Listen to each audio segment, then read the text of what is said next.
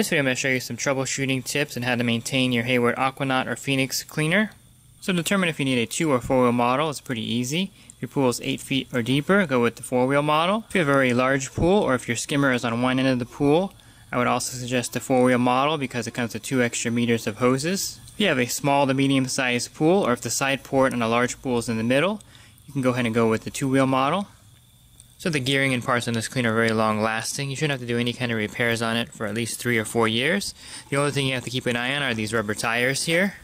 So depending on your pool surface, these rubber tires will wear down every 12 to 18 months. And you can see these wear marks here on the tire. Once it wears down to these marks here, go ahead and change these tires.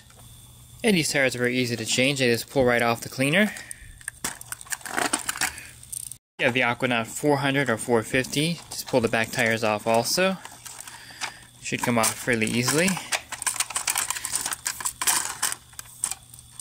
And there's no need to take the wheels off the back to put the tires back on.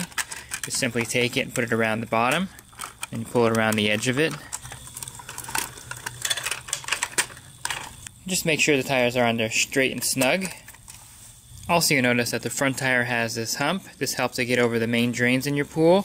And the back tire doesn't have a hump, so when you order new tires, the back tires have no humps, the front tires have the hump. So over time, the teeth on these wheels will wear down. To get them off, you just simply get a screwdriver and pop the hubcap off. And the wheel will slide right off.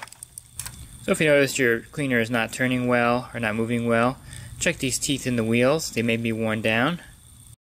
And the bearings in these wheels should be very long lasting, so you shouldn't need to change them for a long time. So if you ever do need to change them, they pop out very easily. Just push your thumb here. They slide right out. If you notice the hose is getting tangled in the pool, it could be the swivel being jammed with debris. Go ahead and see if it spins freely. You can also hose it off. Occasionally a large piece of debris will get jammed in the cleaner.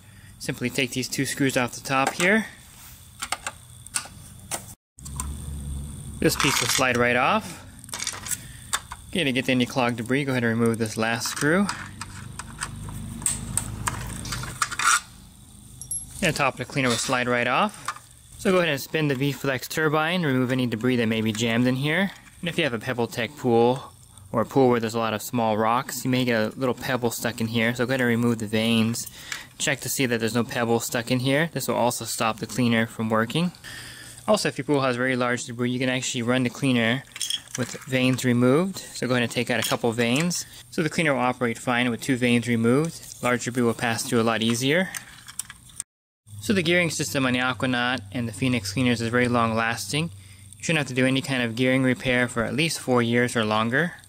And the cover slides very easily back into place. Going to put the screw back in. Go ahead and slide the cover back on. This front piece goes in a notch here. And we'll put the screws back in. The Aquanaut Phoenix cleaners comes with a medium inlet throat installed on the cleaner. If you have the right size pump and you want better wall climbing ability, you can install the large inlet throat that comes with the cleaner.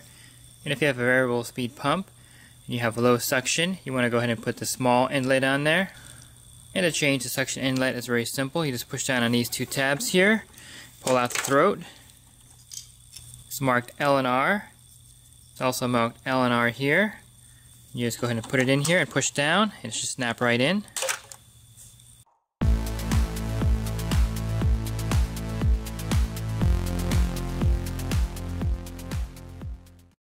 I also have installation videos for these cleaners, so you can watch those also if you're installing one. And on a lead hose of the cleaner, the floats come factory set. You shouldn't have to move these floats at all.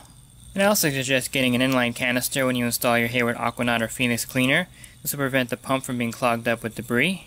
The Aquanaut and Phoenix cleaners are very easy to operate. You shouldn't have any problems with these cleaners. They're built to last and they're very easy to work on.